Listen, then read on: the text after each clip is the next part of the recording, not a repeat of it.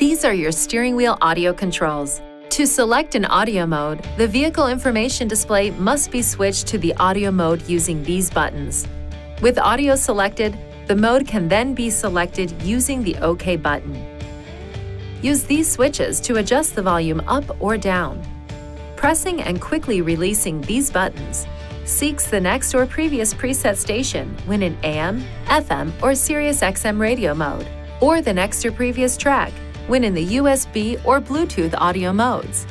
Pressing and holding these buttons seeks the next or previous broadcast station when in AM or FM mode, the next or previous channel when in Sirius XM radio mode, or reverses or fast forwards the current track when in USB mode. Please see your Nissan Connect Owner's Manual for important safety information, system limitations, and additional operating and feature information.